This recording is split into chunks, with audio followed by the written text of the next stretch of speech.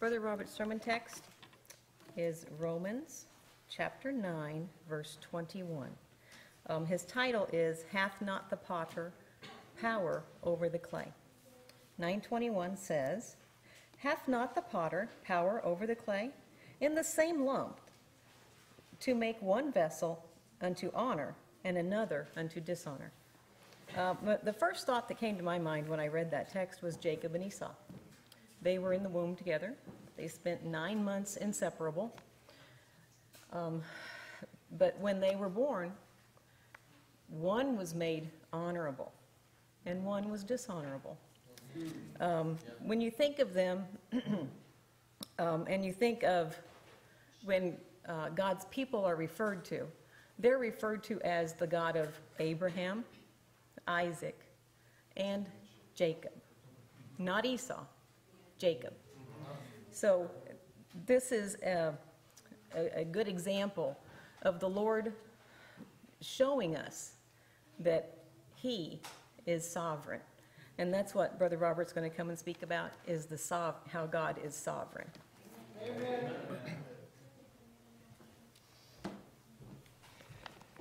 Good afternoon, brethren.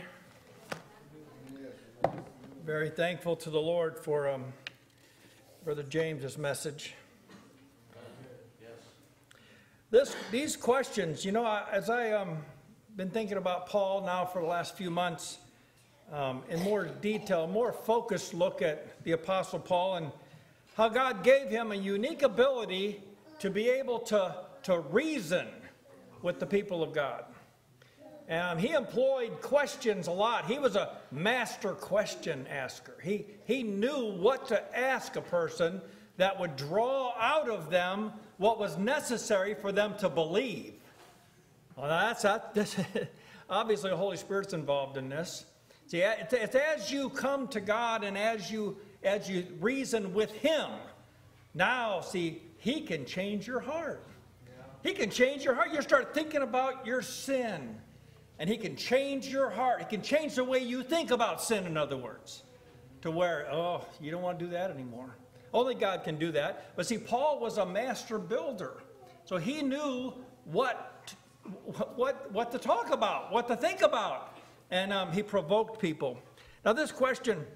Actually, it, it, there's, a, there's a lot of questions in chapter 9, and I want to look at these questions in chapter 9 because they all like build on one another and, and they, they're, they, they kind of like hinge on one another.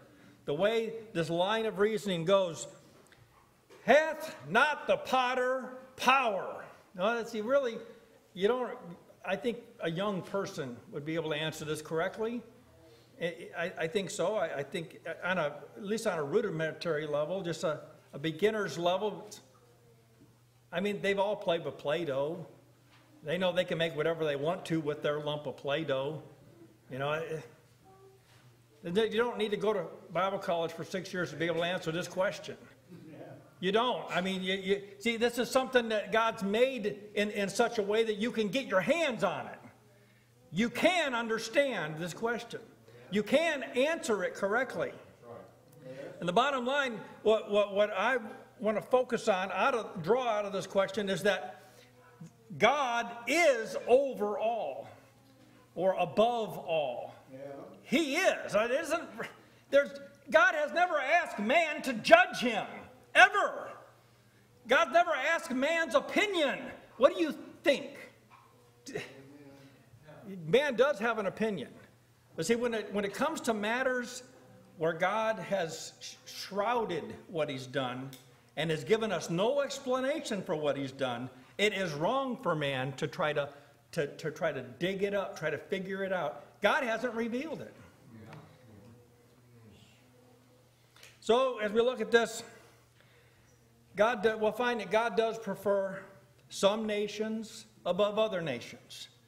He does. I mean, it, it's foolish to, to, to think otherwise when God's given us such a demonstration in the scriptures. If a person knows the scriptures, they'll know God has preferences. God has a purpose, He has a will, He has desires. Blessed is the man that knows them and, and aligns himself with the desires of God.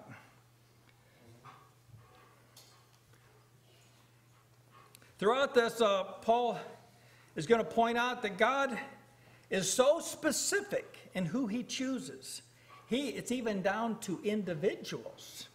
God can choose an individual above another individual.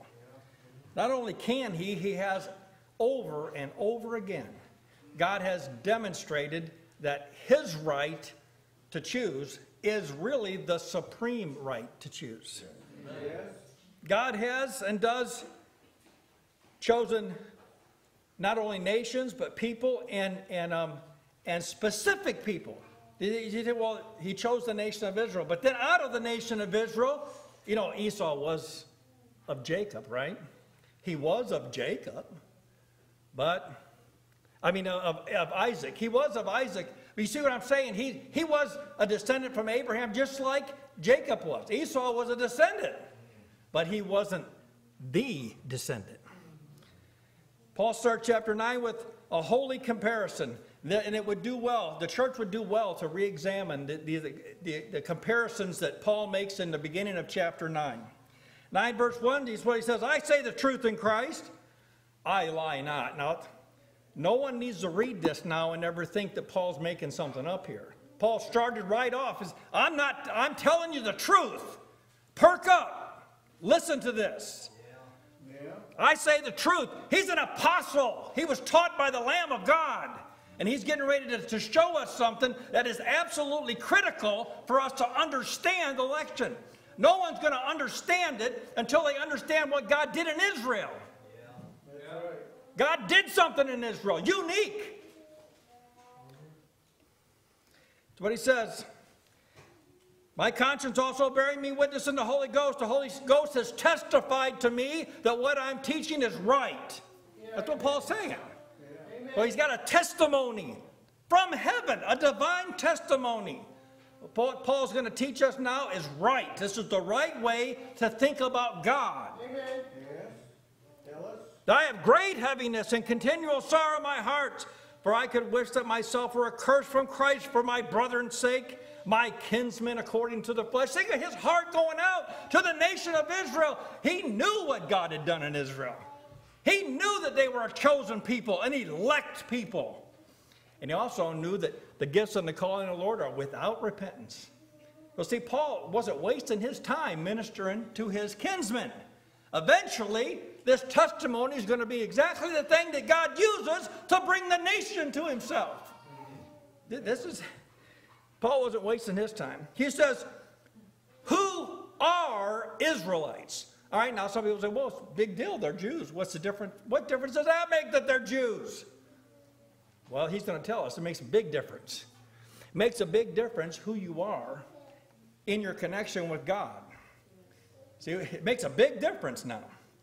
Paul's going to list eight things that proved that God had chosen the seed of Abraham above all the people of the earth. Now, you know, I've noticed people who have a problem with election, predestination, uh, people who have a problem with that are usually the ones that are on the outside. Usually. Now, the, there are some that appear to be on the inside, but the fact that they have a problem with what God's doing is very suspicious to me. Yeah. When a person judges God and implies that what he did isn't righteous. Well, I'm not going to make the judgment, but there's going to be a judgment made someday. We don't want to be on the wrong side of God. Now, the King James Version uses this word pertaineth. I wanted to say a word about that because other versions they use the word belong. That's good. See, the, these things that he's going to list, these eight things, they belonged to Israel. Why did they belong to Israel? Because God gave them to Israel. He didn't give it to any other nation on the face of the earth, but He gave it to Israel. These things belong to them. Some version says, whose is? Who did these things belong to? They belonged to Israel. You couldn't have them unless you were an Israelite. I know they had proselytes, but they had to become an Israelite. That's a point. They had to become part of the covenant. Or they, they were on the outside. See, all these things, these are, these are things for us to understand what God's doing in Christ now. Amen. God isn't, didn't do this just as an, an appendage. That we wouldn't understand what God's doing in Christ had He not shown us with this nation called Israel. Who are Israelites? Now, number one, it says, To whom pertaineth the adoption? God never adopted another people. To this day, He's never adopted another fleshly people. He adopted Israel. So it says, um, God's talking to Pharaoh, or talking to Moses about Pharaoh, and this is what he says. Exodus 4:22. And thou shalt say unto Pharaoh, Thus saith the Lord, Israel is my son, my firstborn. In other words, God's saying to Pharaoh, You're messing with the wrong people here. You're messing with my people. And believe me, their God was much more powerful than Egypt's God. Of course, they found out, didn't they? They found out. They messed with him. They messed with God's people, and God judged their gods. They didn't, they didn't fend too well either. He says, And I say let my son go. You better let my son go that he may serve me. And if thou refuse to let him go, behold, I will slay thy son, even thy firstborn. And what did he do? He slew the firstborn of Egypt. Why? Because they wouldn't let his son go. They were adopted. you see the parallels in Christ. You've been made one with Christ. The world thinks they can abuse you, but not for long. You think God's looking at this? and just letting it go. No, no, no. They're building up wrath against the day of judgment. People ought, they ought to be afraid to walk around and hurt the people of God. They ought to be. You belong to God. Well, that, that kind of sobers you up, doesn't it? Kind of sobered me up. See, you want to treat the, to God, the God's people better than any other people. Any other people. Why? Because they're God's. That's why. They belong to God. Well, number two, to whom pertaineth the glory? Oh, I tell you, this was, it made me excited. I started getting excited. Amen. The glory. God gave it to Israel. All right? What is it? It's referring to the Ark of the Covenant. It's, it's actually referring to God's presence with the people. God was with them. Now it was on a it was it was not like it is now in Christ, but it was much more than any other nation had. Right. Much more than they, the, the Shekinah glory came down, and they knew that God was in the house. Praise God for that. Amen. You can know when God's in your house. You can know it when the Spirit's moving. Amen. Say, well, it's time to do some house cleaning. The Holy Spirit's here. Amen. See, you got the glory. The glory's with you. In Christ, the glory's with you. Take advantage of the glory. No other nation had the presence of God like Israel. No other nation. They, they saw it one time. Remember, they stole the ark. they sure wish they wouldn't have done that. Didn't take them long to bring it back. Why? Because that glory was for Israel. It was for Israel. People trying to sabotage the gospel. It's not working out well, out well for them either. Churches are closing right and left. Why? Because they tried to hijack the gospel and make money off of it, and you can't do it. It's for the people of God. Leave it alone. Number three, to whom pertaineth the covenant? Oh, this is good. God gave, made a covenant. He made an agreement with these people.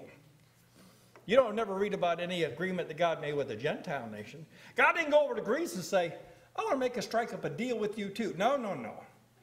It was Israel, and it was based on the faith of Abraham. The promises that God made to Abraham, he, he, he blessed. He said, I'll make you the father of many nations. I'll bless them that bless you and curse them that curse you. This was an agreement that God made. He blessed Abraham, and he made it a covenant with the nation of Israel.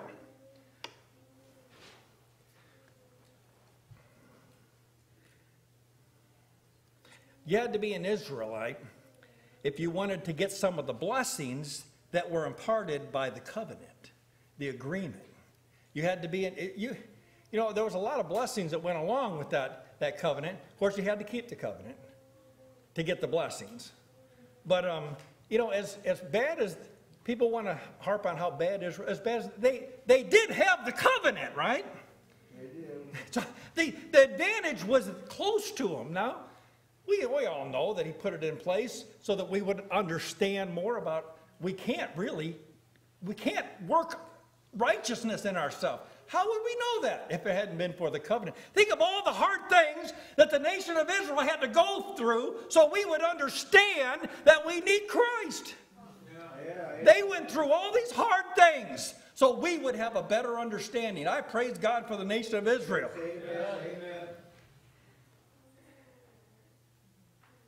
To whom, number five, no, number four, I don't want to skip number four. To whom pertaineth the giving of the law? Think about that. Think about no other nation had a law that was holy and just and good. They may have had some ordinance or some laws, you know, don't steal from people. And that wasn't like God's law. Wasn't like God's. God's law was special. God's law was holy, just, and good, and technically it's still in a force today because God wrote it on your heart. That's not, that's the law he wrote on your heart. That's the same one. And now, now it says, Thou shalt love the Lord with all your heart. And you say, I want to love the Lord with all my heart. Why? Because he wrote it on your heart. He didn't do away with that, it was good. They, he gave it to Israel. That's the point. I'm pointing out that God made the nation of Israel special, and he did it for a special reason. You know, if you were an Israelite back in those times, what could you boast in besides God? They didn't have anything else besides God. Their whole life revolved around God and serving God. Number five says, To whom pertaineth the service of God? Think about ministering in the tabernacle. What a thing. Remember, it says, God's, it says there'll be a kingdom of priests. They'll serve me night and day. You, see, you can see the, the, the analogies there, the, the, the types and shadows. Now in Christ, we are a kingdom of priests. There, there really, there isn't anything that we can lawfully do outside of Christ. Everything we do is a service unto our King, which is a good thing because in the end, then everything we do, there'll be rewards. When you, I, I, I got him off the floor now, well, mop it for Christ, and there'll be a reward. It goes down to that level. You can do all things heartily as unto the Lord. Why? Because you, you're a priest unto God. Well,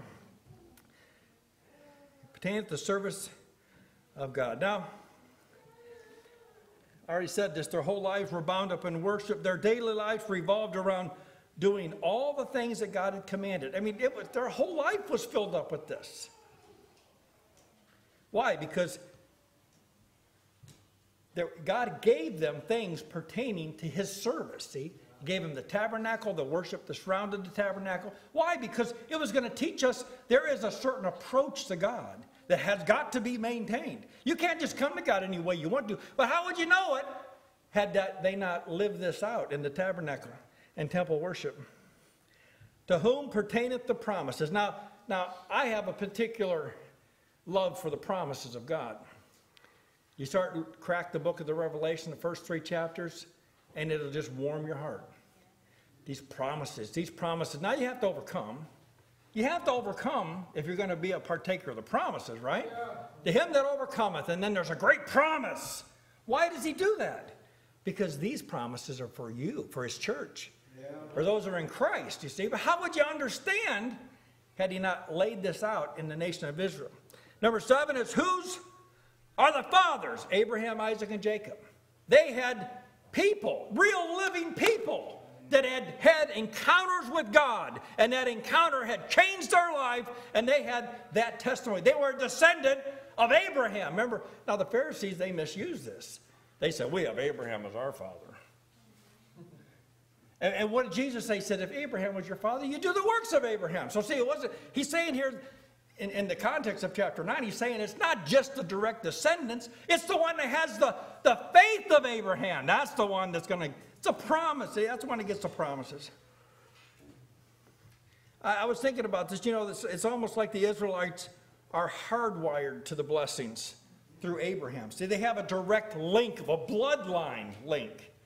Now, Christ comes along and he says your link to him is faith. See, that's even a, a harder line. Faith, you, by faith. You read chapter 11, Hebrews chapter 11, by faith. Everything that was done by faith. Why? Because see, it was so that the promise could be sure to all the seed. Anybody who could believe, you can be included in this blessing. Number eight, and of whom, as concerning the flesh, Christ came. Now remember, Jesus told the, uh, the woman that came to him, he said, It's not right. It's not right that I give these good things to you. It- it- And, and um, it- the, the scripture escaped me right now, but he, told, he said, and then remember, he said, but she said, the dogs get the scraps that fall from the table. See, It was, it had to be preached to the Jew first and then to the Gentile. Why?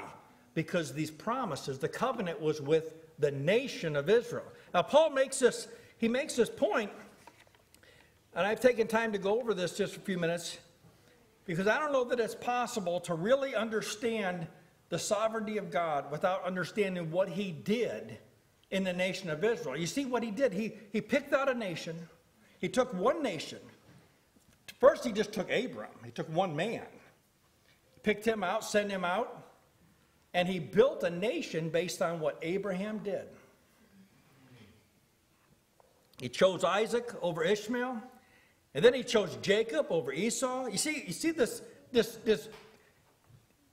God's teaching us something that he has, he has a specific purpose, and he has a specific way of bringing about this purpose.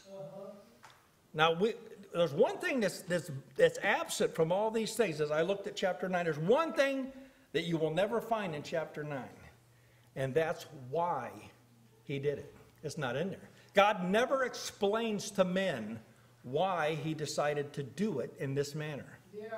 It's not there. Why? Because this is God. this is God doing his will. This is, in an economy of faith, God doesn't have to explain all the particulars out. God says, I did this, and what his faith said, I believe it. And I'm going to rely on this. Is, why? Because God is holy and just and good. God can't do anything that's wrong. Amen. So, and see, all this is needful to know when you come to verse 21. God's overall. Remember when Rebecca Wait, when I, I, we've heard a lot of bad talk about Rebecca and Jacob. There's been a lot of bad talk about what Jacob did to poor little Esau. Now, when you get in chapter 9, though, it, it, you, you'll never get this kind of, kind of way of thinking in the scripture. But I've heard a lot of people talk bad about Jacob. Oh, that liar, that deceiver. Well, this is what it says, verse 10 and 12. When Rebekah also had conceived by one, even by our father Isaac. For the children not being not yet born, neither having done any good or evil, that the purpose of God of, according to election might stand, not of works, but of him that calleth. It was said unto her, it was said unto her, the elder shall serve the younger. Now, now remember now, Rebecca's walking by faith. Rebecca has faith. She's been told by God that the, the elder's going to serve the younger. And so she sets out to do what she can to do this. Isaac conceived, Isaac conceived both Jacob and Esau, yet we have a word from God now that God's going to have a preference for one and he's going to have a hatred for another one. Now, if God were a man, well, now see, we may be able to be suspicious of, of his, of his uh, reasonings. If God was a man, if I, if I told you I hate this one and I love this other, you may think, well, that may not be just. Because men can be unjust, right? Men can do things just solely on their, for themselves and not think of the consequences. We're talking about God now, and it's very dangerous to impute unrighteousness to God. Very, so he says here, Romans 9:13, as it is written, Jacob have I loved, but Esau have I hated. Now, my point in bringing this up is, is that have, have you ever heard anybody quote that verse and then right afterwards say something like, yeah, but we know that wasn't the best thing? Or, or just imply, well, you know, that, that maybe that wasn't the best way to do it. Or, or how about if they just change the language to make it softer and say, well, no, hate really doesn't mean hate in the original. What it means is loved less. Yeah, there you go. So Jacob have I loved, and Esau have I loved less. My rebuttal is whatever you do, you don't want God to love you less. Because you know what he did to Esau? He laid his land waste. He became a curse. Why? Because God hated him. Now, see, when you, when you think thoughts like this and you think, what do I do with this verse? You just believe it. You just believe that God loved Jacob Amen. and he hated Esau. And now, faith will tell you in the end, it'll all be, you'll, you'll see all the reasons. We don't need all the reasons. Faith doesn't need all the reasons, but it does need to believe what God said. When you look into what God's done and how He's accomplished it, what's your reaction? Do you judge God? You say, well, no one would, no, God forbid, we would never judge God. What shall we say then? Why does he ask questions like this? Why is what shall we say then? Because see, a person could think wrong about this. A person could think about God like he's a man, and it would cause suspicion. Why would God act like this? Why would God love Jacob? I mean, eh, love Jacob before he's even born. Why would he do it and hate Esau before they're even born? Before they did anything. Maybe he's trying to get us to understand that he can do whatever he wants to do. Yeah. Could it be that? Could be, yeah. That God decided to show something about himself. Yeah. And he chose to do it with these two men. Jacob and Esau. How about Moses and Pharaoh? Yeah. Yeah. How about that? Maybe God could use these two people and he could show us something else. For he saith to Moses, I will have mercy on whom I will have mercy. You can't make God have mercy on you. That's, right. That's what he's saying. I'll have mercy on who I have mercy. You, you say, well, I'll get in a certain posture and then God's going to have mercy on me. Really? How's that, how you guys that going for you? I will have compassion on whom I will have compassion. So then, what's, what's the conclusion of that? It is not of him that willeth, nor of him that runneth, but of God that showeth mercy. so the real mercy is seen in the fact that God has saved anybody. See, the lump that he's talking about is a defiled lump from the very beginning. All have sinned and come short of the glory of God. There's not any righteous. There's none that does righteous. So what God got to work with? He's got a lump that's defiled right from the beginning. So what are you going to do, God? Well, I'm going to make some of these from this defiled lump. I'm going to make them holy. Now that's a work. That's a work there. See, by, by default, if he had just left them alone, there would have been no righteous ones. There would have been no holy ones. We were descendants from Adam. I got a bad family tree, let me tell you right now. Bad, bad, bad, bad. I got the kind of family tree that causes, the, it, it alters the way I think. So God is not picking out the good ones because there aren't any good ones to pick out. They're, they're not there. They don't exist. You see people's family tree, and, and over here it's like it's almost like the ink is written with you know invisible ink. We don't want. Well, there's somebody that lived during that time, but we don't want you to know about it because these were bad people. God only had bad people to work with. Right. But God can take that and he can make something that's holy. Why? Because he's God. He's holy and he's just and he's righteous and he, he can change people, transform them. Fallen man really doesn't have the capacity to pull himself up by his own bootstraps. You know, I know, you know, we got this like thinking in America, this if you just work hard enough, if you just push hard enough, you can get it done. When it comes to salvation, you can push and you can work as hard as you want. You can't get it done. And that's what God's teaching us in the nation of Israel. They pushed hard. Generations tried hard. They couldn't get it done. Why? Because righteousness couldn't come from keeping law. It couldn't. It couldn't. But how would you know that? They lived during hard times. And I praise God that they did. Because now, see, we can, we can capitalize on that. We can look at that and say, see, I don't want to fall into a, a, a, a system of a law.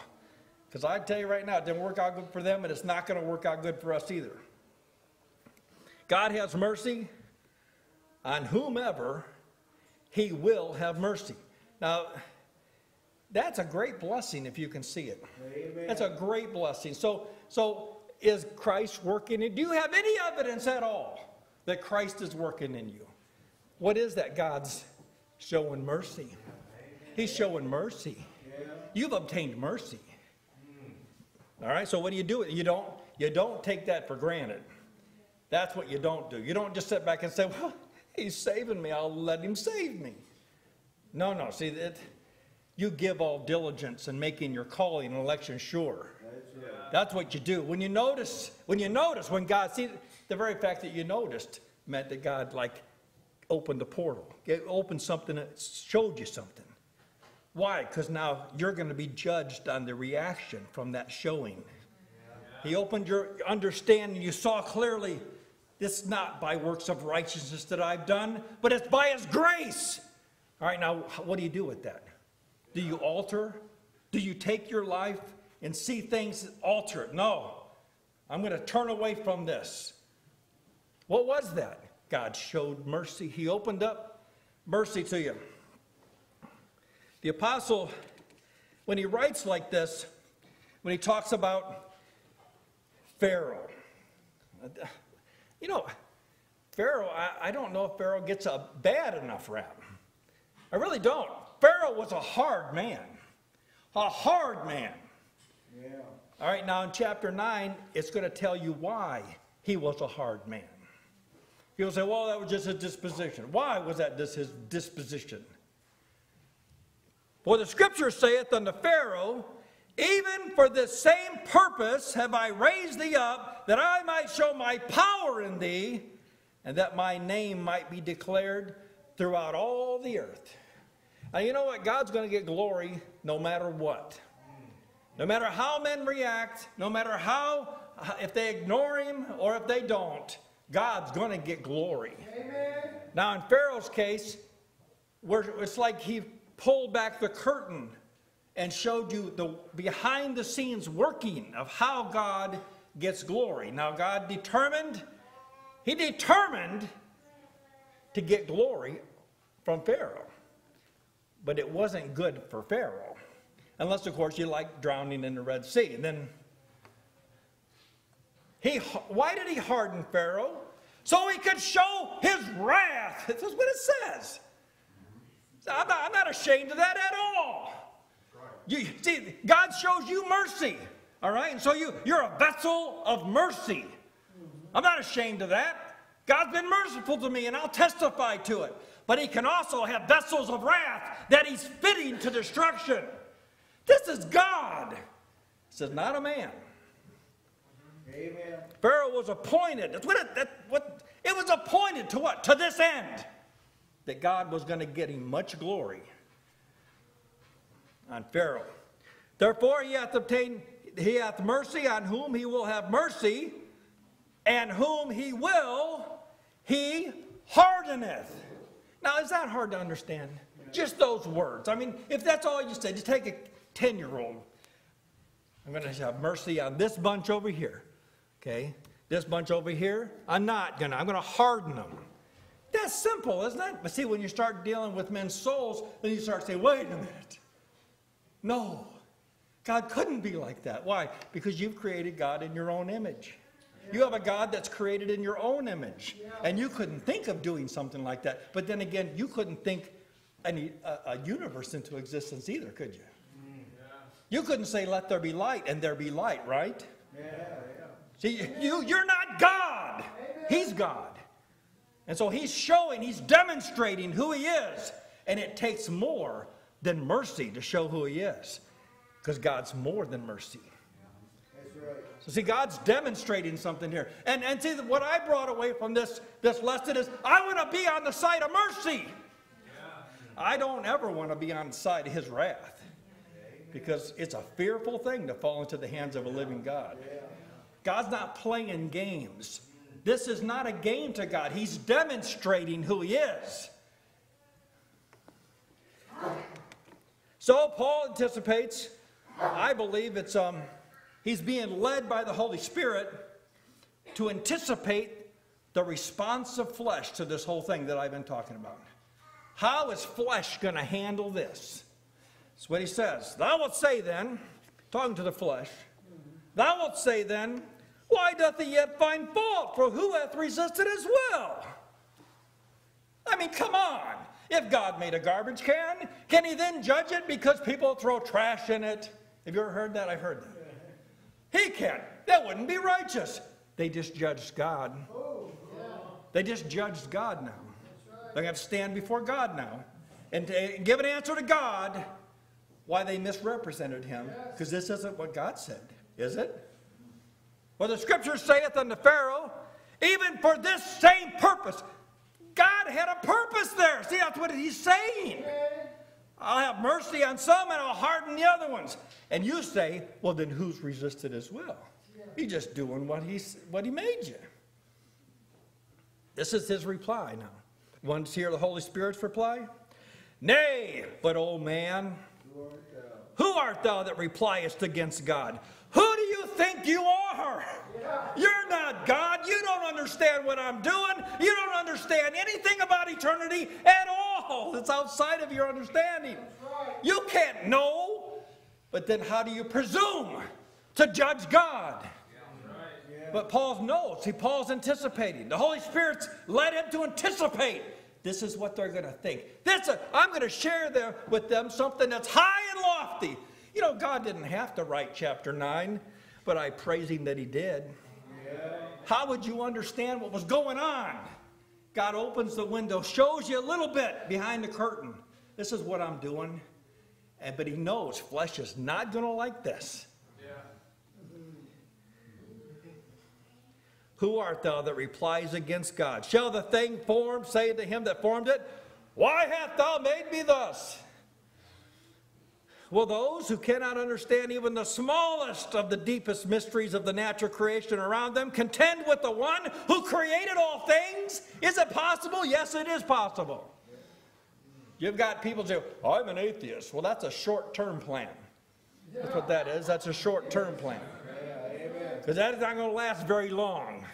You're going to see him face to face. You're going to, because you're going to be in a prostate form of seeing him with your head bowed down and someone's foot on your neck.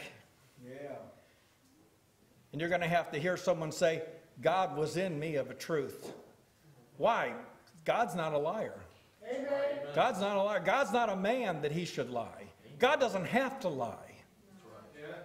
Yeah, praise God. Men have to lie to make themselves look better. God doesn't have to lie. Will those formed from the dust of the earth mount a rebellion against the one who breathed life into them? Is this possible? No. Well, just let's go to the Tower of Babel. You'll see. They wanted to make a tower to the. Well, they wanted to do the same thing Lucifer did. Hmm. Yeah. God said, No. No. Hath not the potter power over the clay? Would you deny the potter power over the clay? People, you know, they love this. Oh, I have my rights. We've heard a little bit about this. I have my rights. I can do whatever I want to. Well, you know, there's a sense in which God's right now allowing men to do what they will. Choose this day. He's allowing, but this is an allowance. You don't have a right I mean, you're not like born with a right to speak against God.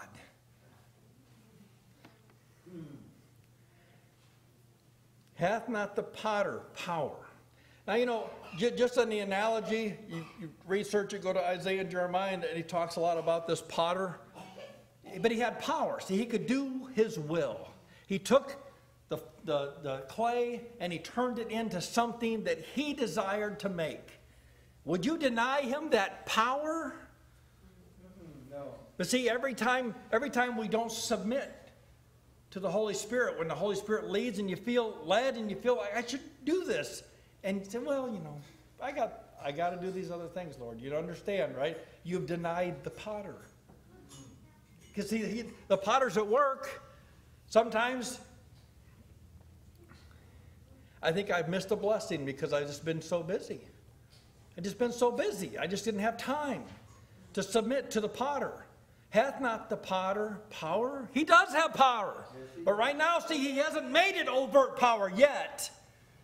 But it's coming. There's a time coming when that potter, oh, we're going to meet him face to face. And, and I, I want it to be a good reunion. A good reunion to where we can say, This is our God. We waited for you. We waited for it. Everyone laughed. We didn't care. We did it anyway. Showed up anyway. We denied ungodliness and worldly lust.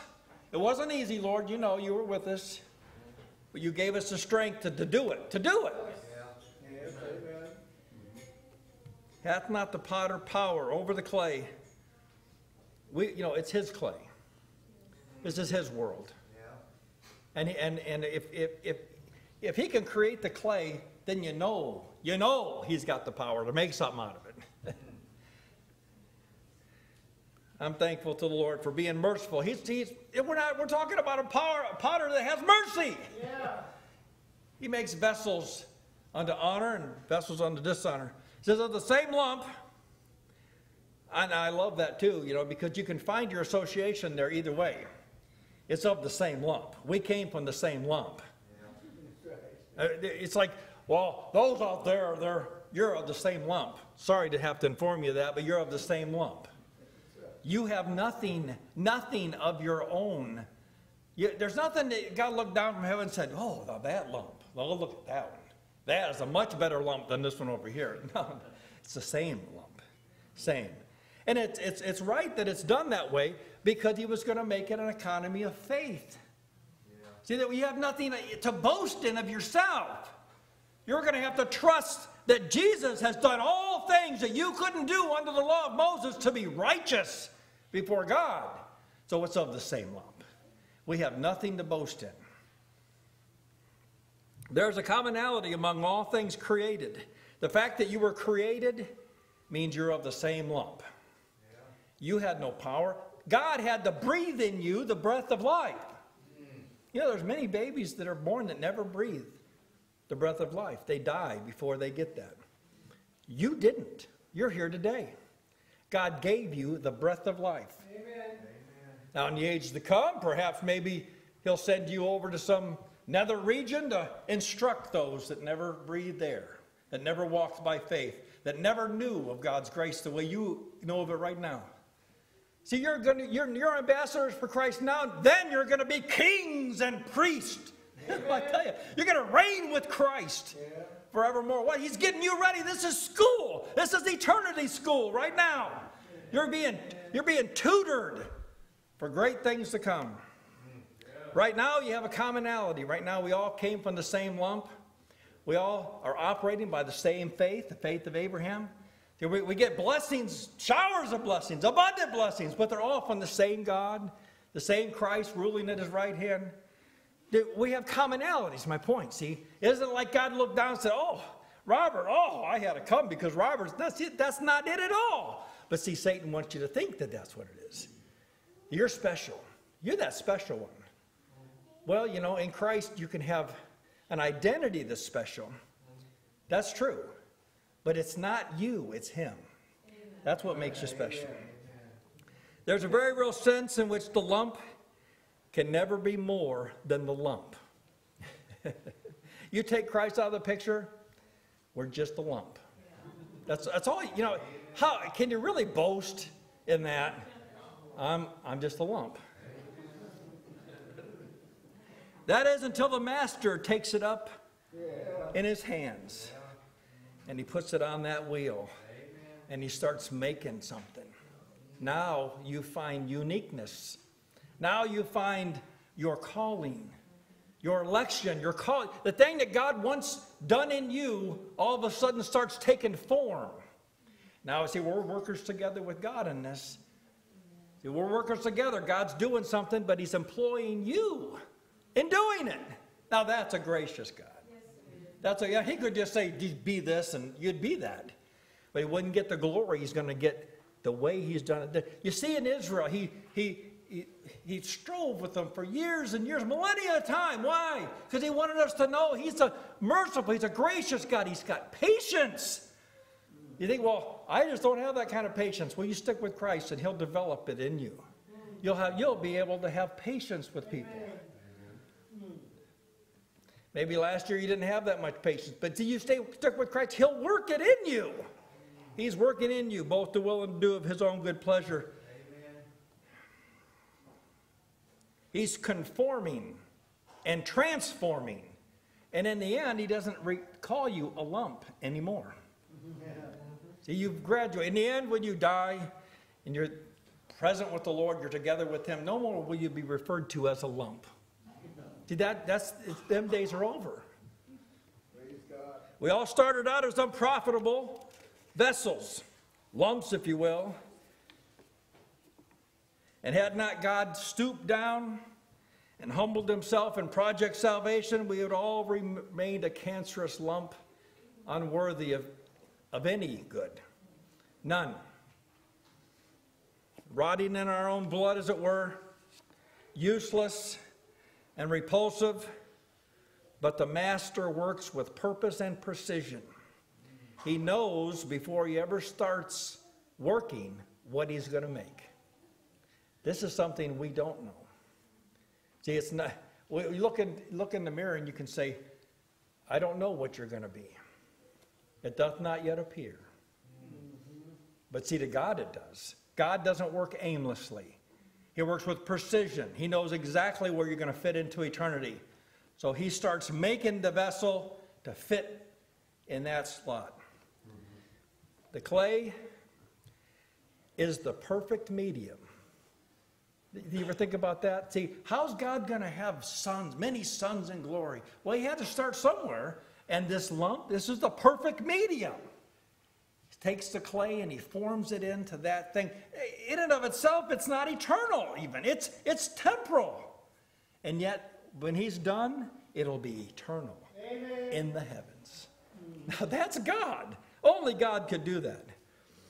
He says, What if God, and, and this is the last question, and I'll close with this. What if God, willing to show his wrath and to make his power known, endured with much long suffering the vessels of wrath fitted to destruction? There's a sense in which, and I know it's just a sense, the ultimate is, is not this what I'm going to say, but there is a sense in which all of us were born unto destruction. Had I'm saying if God had not intervened. That's right. See, that this was, we weren't born good. I know you know this, but I just had to refresh my own mind in this. See, there is none righteous, and that really is what it means. So the lump was bad, but see, he had some vessels that, that he, he, he's talking about what God's doing here. He was going to fit some for destruction, and that he might make known the riches of his glory on the vessels of mercy. Now, remember to started out, what if God? Just what if God wanted to do this? What if he wanted to make some vessels under the dishonor, under destruction? And what if he wanted to make some vessels unto honor? You see how God gracious he is? He's putting this out there for us to think about. Because when you start thinking about this with God, it'll build your confidence up. Amen. That he might make known the riches of his glory and the vessels of mercy which he had afore prepared unto glory, even unto us, whom he hath called, not of the Jews only, Remember, he started out talking about the Jews, told you all the good things that he did for Jews, but they were exclusively for the Jews. It was just the Jews, just the Israelites got it. But here he says, not only unto the Jew, but unto the Gentile. God's not constrained. He's not constrained or he's not subject by the foolish surmisings of the vessels of wrath. See, it doesn't make any difference how, how loud the, the, the, the, the world rages against him. It doesn't matter. See, we hear it. We hear people, they rage against God. God's in heaven. There's a sea of glass before him. This isn't like up, God's not up there wringing his hands. I sure hope they make it. He's working all things together for our good. Those who would mount up an argument against election need to reconsider their faulty reasoning. They, they, need, they need to, to stop and think it's dangerous to judge God. God said it like this, the way it's been presented. God said it. This is what He said. And it's left up to us to do one thing that's profitable is just believe it. Is there unrighteousness with God? God forbid. Why doth he yet find fault? Who hath resisted his will? Who art thou that repliest against God? Hath not the potter power over the clay? Now I'll leave you with my final question. What shall we say to these things? Praise God for Jesus. Amen.